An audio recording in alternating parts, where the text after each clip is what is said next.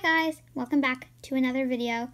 Today I'm going to be showing you guys the new Adopt Me update summer sale. So, um, my unicorn was just hungry. So we're going to feed it some food and you can get two times the money if you do like any kind of task for your animal. So, yes, this is the new Adopt Me update. We're going to give Rainbow some popcorn and uh, we're gonna see how much money is like would reward you like 12 bucks. Usually you would get six dollars but it doubles the price. And the next part of the wonderful adopt me giveaway gotta pick you up rainbow.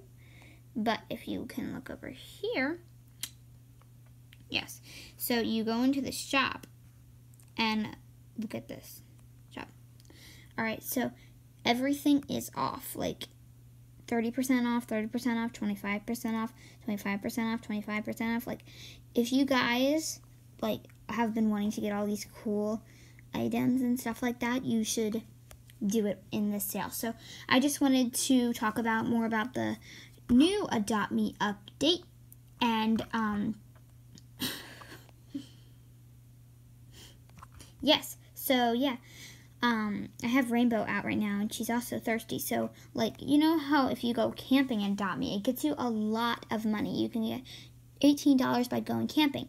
And if you have a baby out, you can get 18 more dollars. But now, any task, you get $36 just with a pet. You could get $36 just with your pet. Because I've been going camping with my unicorn for for a long time now, and I did and I've been doing uh, like 18 there you the reward is $18 so it's pretty cool that you can get double the thing. And it's only for the weekend because if it says like summer sale stay staycation time. Check out the shop for discounts.